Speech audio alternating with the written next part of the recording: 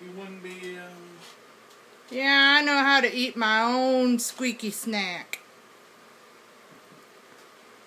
Yep. I know how to do it. Give me a Because squeaky if- snack. He, could, if he couldn't hold his food with his talons, he would end up dropping a lot of food. End up wasting a lot of effort. Polly want a squeaky snack? Threatening Mm. the species' survival capabilities. That- That's my squeaky snack. Or he could be gifted.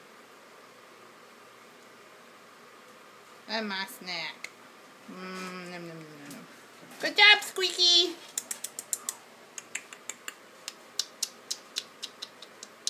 Squeaky burn.